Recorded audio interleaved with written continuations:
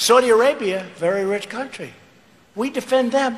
We subsidize Saudi Arabia. They have nothing but cash. Right? We subsidize. And they buy a lot from us. $450 billion they bought.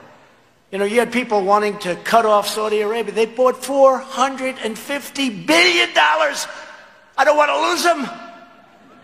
But the military, we subsidize Saudi Arabia. I called the king.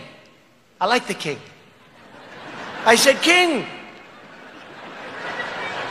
we're losing our ass defending you, King, and you have a lot of money.